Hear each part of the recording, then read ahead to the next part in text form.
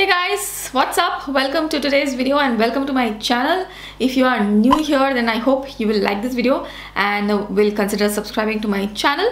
Today, if you feel like I have like too much powder going on on my face, that's because I'm going to demo out these powders finally so i have two laura mercier translucent setting powders and i have been promising for the longest time that i will do a comparison video of these two powders. So today is finally the day and i'm going to share my thoughts on both the powders.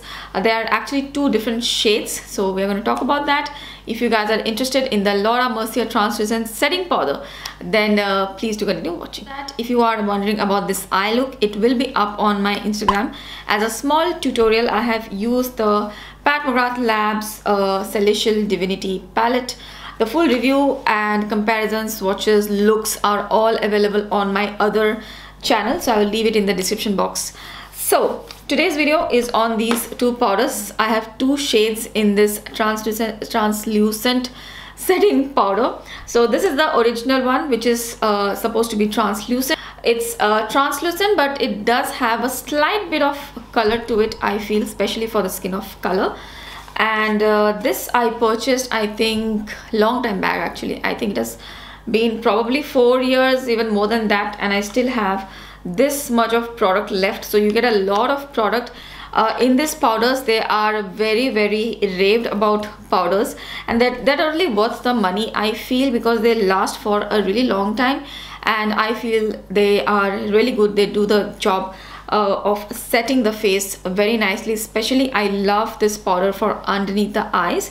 So i have bought uh, both the powders from sephora singapore uh, in each uh, tub you're going to get 29 grams of product so that's a lot of product. And each powder retails for 70 Singapore dollars. It's a expensive powder but nowadays there are frequent sales and it's worth it I would say that much. There are three shades in this powder. So I have the shade translucent which is the original one.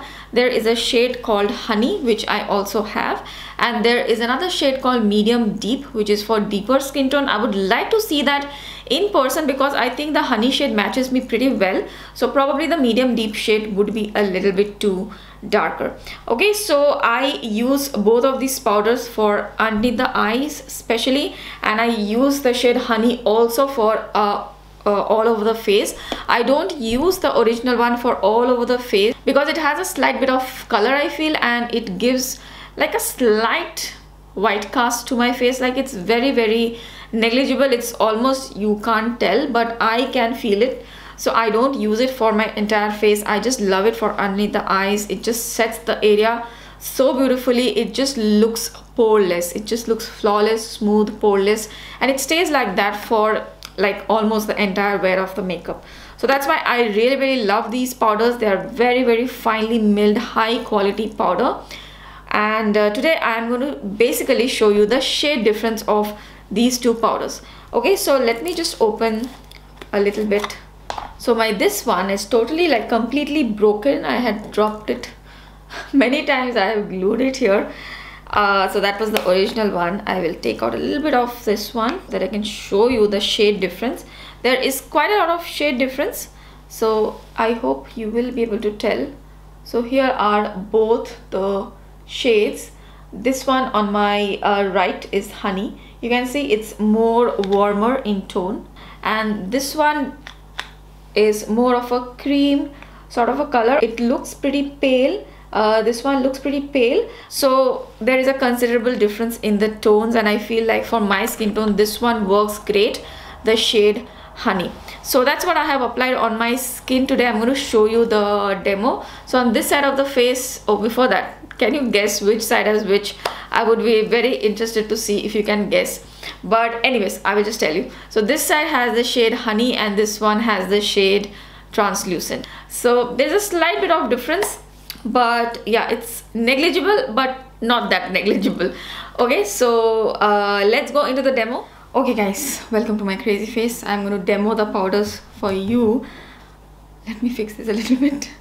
Okay that's better okay so i've already applied a foundation i applied the Too Faced born this Way foundation, one of my favorites uh, in the shade Caramel.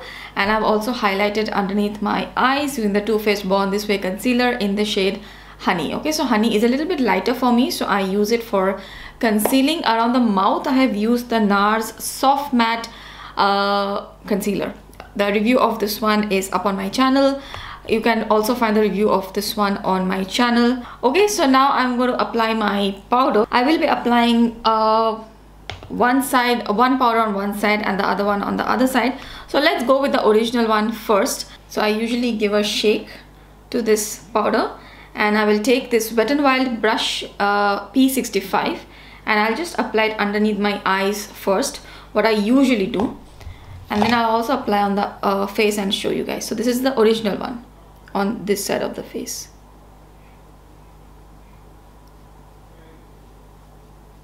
So instantly it just gets the under eye just smooth and poreless. Look at the difference here. It's just stunning. I mean, I just love this for underneath the eyes or setting my uh, eye primer or if I have concealer on the eyes for setting that lightly I use this. And it gives a natural matte finish. And for underneath the eyes I love this look. So this part is done.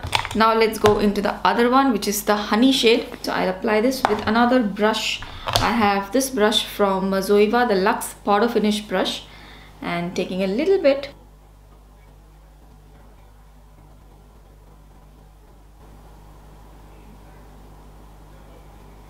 you can see how much ever I build I almost applied like three four layers.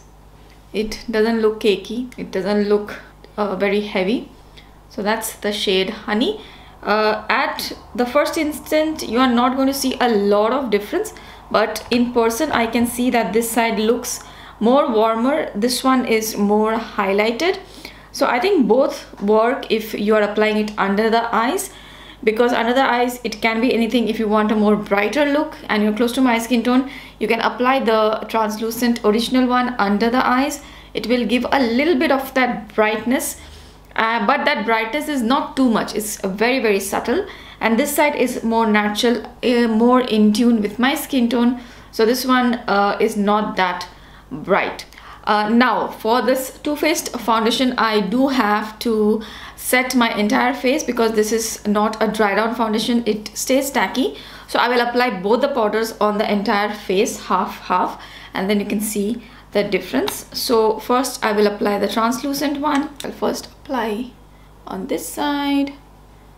When I apply it on the whole face then you will be able to see a lot of difference. This may say it is translucent but on my skin tone this one will still give like a slight bit of uh, white cast. Not really white cast cast but there will be slight bit of a color. It's not very objectionable to me but this is the reason I don't apply this on the entire face. I use other pressed powders.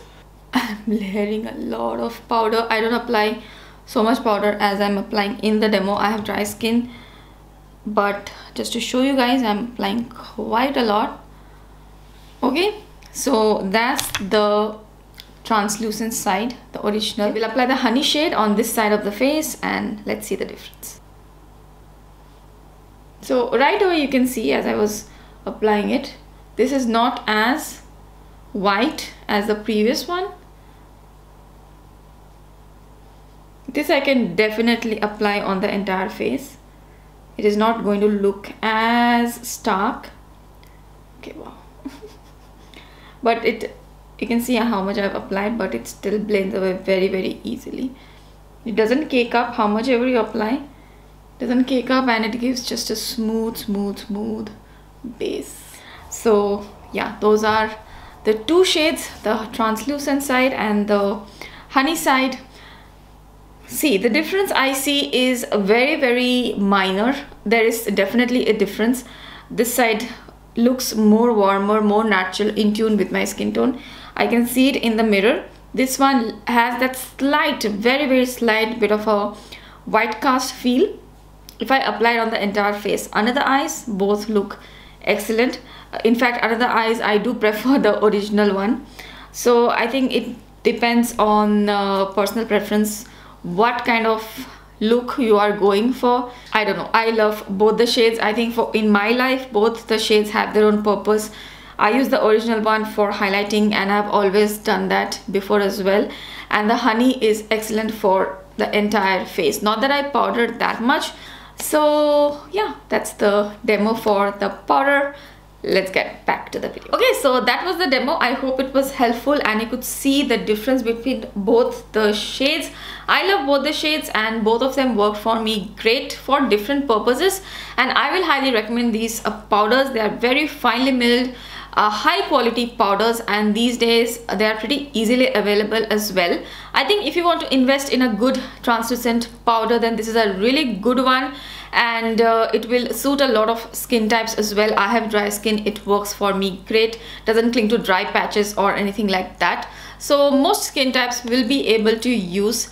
And uh, yeah i have been loving this powder for uh, many many years now. So definitely it's worth a buy. Uh, and yeah that's it for today's video guys. I hope this video was helpful. If you liked it and it was helpful please don't forget to give this video a thumbs up and if you're watching me for the first time i really hope you'll consider subscribing to my channel. Thank you so much for watching today. I will see you again really soon in my next video. Bye